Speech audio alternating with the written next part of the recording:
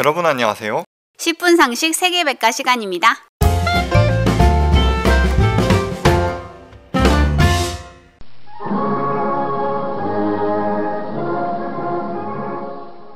니카라과로 알려진 국가의 정식 명칭은 Republic of Nicaragua, 니카라과 공화국입니다.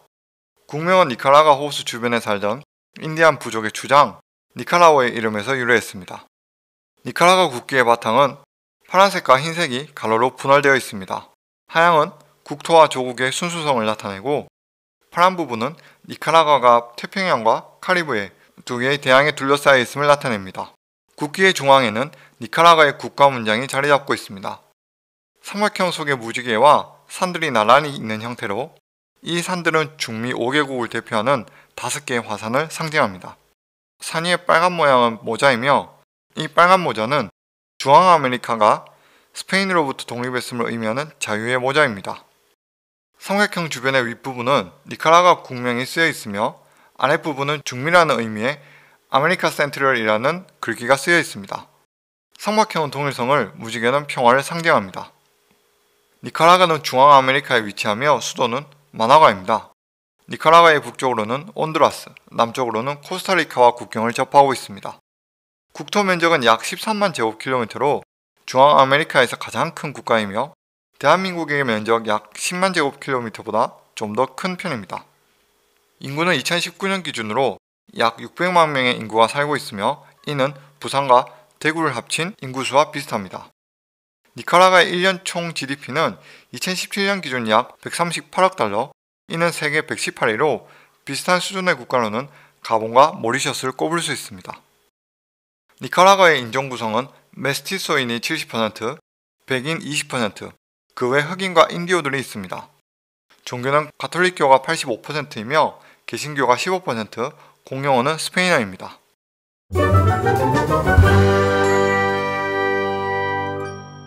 스페인의 식민 통치를 받기 이전 니카라과에는 니카라오족, 초로테가족, 미스키토족 등 아메리카 원주민 종족 집단이 살고 있었습니다. 1502년 콜럼버스가 처음으로 니카라과의 동해안을 발견하였고 이 지역을 스페인의 영토로 삼았습니다. 이후 스페인은 원주민에 대한 착취와 탄압, 카톨릭 교회의 무자비한 종교 정책 등을 자행하며 혹독한 식민 통치를 했습니다. 게다가 스페인인들의 이주를 통해 천연두와 같은 낯선 전염병이 중남미에 퍼지기 시작하자 면역이 약했던 원주민들의 인구가 급감했습니다. 열악한 환경을 견디다 못한 니카라가 원주민들은 독립운동을 펼쳤고 1821년 니카라가는 다른 중미 국가들과 함께 스페인으로부터 독립하였습니다. 잠시 멕시코의 일부였다가 다음에는 중미연합의 일부, 그리고 마침내 1838년 완전한 독립을 성취했습니다. 독립 후 니카라가는 북부 레온 중심의 자유주의자와 남부 그라나다 중심의 보수주의자 간의 정치적 투쟁으로 정치적으로 매우 불안했습니다. 양 진영 간의 팽팽한 내전이 계속 이어지던 상황에서 1855년에는 자유주의자들이 불러들인 미국인 용병 윌리엄 워커가 대통령을 자처하는 등 해프닝도 있었습니다. 미국은 니카라가 지역의 자국의 영향력을 보장하기 위해 수차례 걸친 무력 개입을 자행하였으며 1912년부터 1933년까지 두 차례에 걸쳐 총 19년간 미국 해병대를 니카라가에 주둔시켜 간섭하였습니다. 이에 저항한 니카라가의 게릴라 세력은 장군 산디노를 중심으로 강력하게 저항하였으나 역부족이었고 산디노는 1934년 아나스타시오 소모사 가르시아에 의해 죽습니다.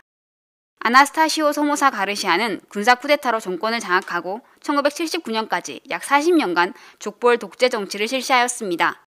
하지만 1961년 산디노의 전통을 계승하여 결성된 산디니스타 민족 해방 전선이 소모사 독재 체제에 대한 무장 저항 운동을 시작하였습니다.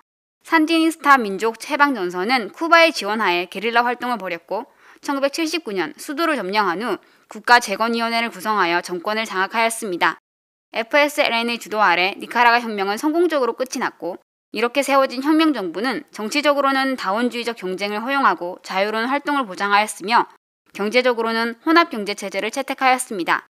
하지만 쿠바의 지원을 받은 좌익 정권이 들어서면서 니카라과와 미국의 사이는 크게 나빠졌습니다.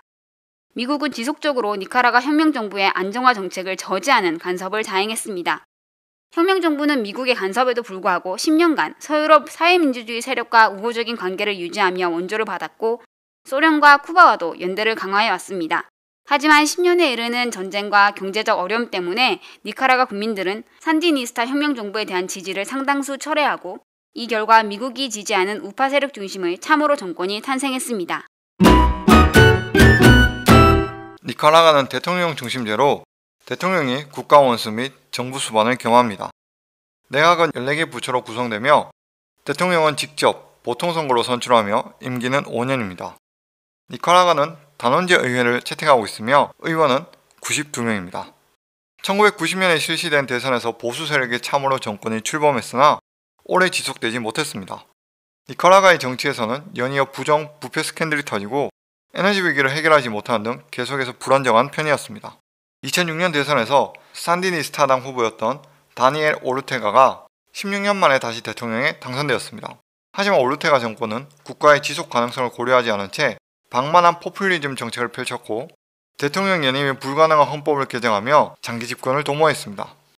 심지어 2016년 11월 대선에서는 부인 무리어를 부통령 후보로 지명한 등 권력에 대한 집착이 국민들의 격렬한 반발심을 불러일으켜 정치적 위기를 자초했습니다.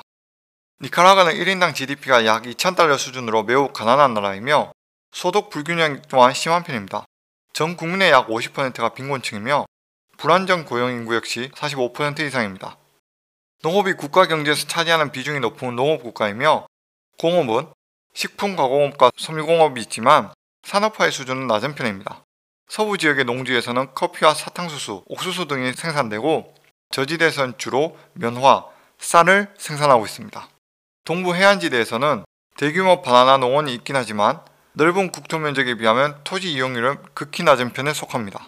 게다가 전력의 70%를 화력 발전에 의존하고 있어 심각한 전력난을 겪는 상황이 지속되어 경제 발전에 장애가 되고 있습니다. 니카라가 정부는 경제적 어려움을 해결하기 위해 2014년 말 니카라가 운하 공사에 착공했습니다. 기존 파나마 운하의 한계가 점차 나타나는 상황에서 니카라가 운하가 개통되면 미국 동부와 서부를 잇는 백길이 800km 단축되는 효과를 노릴 수 있습니다. 니카라가 정부는 홍콩의 니카라가 운하 개발 회사와 공존하여 공사에 착수했고 2019년 말 완공을 목표로 하고 있습니다. 니카라가 운하가 완공되면 중남미에서 IT에 이어 두 번째로 가난한 니카라가에서 막대한 경제적 효과를 기대할 수 있으나 현재까지도 니카라가 국민들의 격렬한 반대와 환경 파괴 문제 등 해결해야 할 문제들이 많이 남아 있습니다. 니카라가는 중미에서 가장 큰 나라로 환태평양 지진대에 위치하고 있어 지진이 자주 발생하는 지역입니다. 니카라가는 크기의 고도에 따라 태평양 저지대와 북쪽의 산악지역, 모스키토 연안의 카리브 저지대로 나눌 수 있는데요.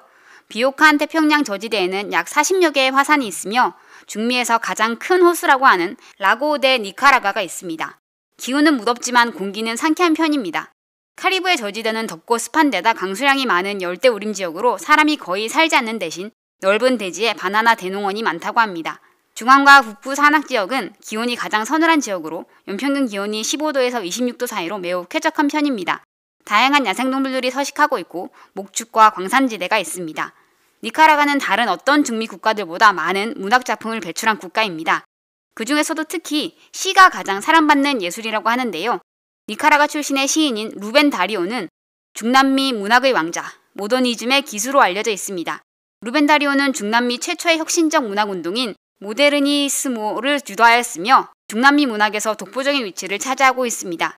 니카라가는 2004년부터 매년 그라나다 국제 시 페스티벌을 개최해 세계 각국과의 문화 교류의 장을 마련하고 있습니다. 또한 니카라가 사람들은 야구를 매우 즐기며 국가 스포츠로 부릴 정도로 인기가 대단하다고 합니다. 인구 600만이 안 되는 나라에 야구팀만 약 4,500개가 넘고 야구 선수로 등록한 사람들만 7만 명에 가깝다고 할 정도니 그 인기를 실감할 수 있습니다. 1968년에 자국 리그를 창설하였고 1972년에는 세계 선수권 대회에서 우승을 하는 등 국제 대회에서도 좋은 성적을 거두었습니다. 그때부터 니카라가 출신의 야구 선수들이 미국 프로야구 메이저리그에서도 활발하게 진출하기 시작했는데 니카라가 출신의 가장 유명한 야구 선수로는 데니스 마르티네즈가 있습니다. 니카라가에서 유명한 인물로는 전직 모델과 여배우며 사회 인권 운동가인 비앙카 제거가 있습니다. 제거는 현재 유럽의회 친선대사로 활동하고 있으며 비앙카 제거 인권재단의 창립자이자 회장입니다. 비앙카는 1945년 니카라과 마나과에서 상인의 집안에서 태어났지만 그녀가 10살 때 부모님은 이혼하여 어머니 혼자서 3명의 아이들을 키우게 됩니다. 비앙카는 경제적으로 어려운 상황에도 장학금을 받으며 프랑스 정치학을 공부하였습니다. 또한 인도를 장기간 여행하며 간디의 비폭력 저항 운동과 동양 철학의 영향을 받게 됩니다. 1970년 25세 때 프랑스에서 열린 롤링스톤즈 콘서트 파티에서 70년대 아이콘이자 전설적인 락 그룹 롤링스톤즈의 리더 믹 재거를 만나게 되고 다음 해 믹 재거와의 결혼식을 올리게 됩니다. 결혼식 당시에 입은 화이트 웨딩 드레스는 프랑스의 유명 패션 디자이너인 입생 로랑이 디자인한 옷으로 블라우스 없이 재킷과 스커트로만 구성되어 당시 큰 화제를 불러일으키고 지금까지도 베스트 웨딩 드레스 중 하나로 손꼽히고 있습니다. 하지만 그녀는 그리 오래 가지 않아 믹 재거와 이혼하였고 당시 그녀의 고향인 니카라과에서는 1만 명 이상의 사상자를 낸 지진이 덮쳤습니다. 비앙카 제거는 국제 적십자 대표단과 함께 니카라과를 방문했고 자연재해뿐만 아니라 독재 정권의 야망과 억압에 큰 충격을 받게 됩니다. 이 사건을 계기로 비앙카는 사회 인권 운동가가 되어 추후에는 비앙카 제거 인권 재단을 설립하게 됩니다. 현재까지도 비앙카 제거 재단에서는 여성들이 기본 인권을 박탈당한 국가들에 대해 고발하며 여성이 열등하다는 인식을 영속시키는 문화 및 사회적 규범에 대해 개선될 수 있도록 많은 캠페인 활동을 하고 있습니다.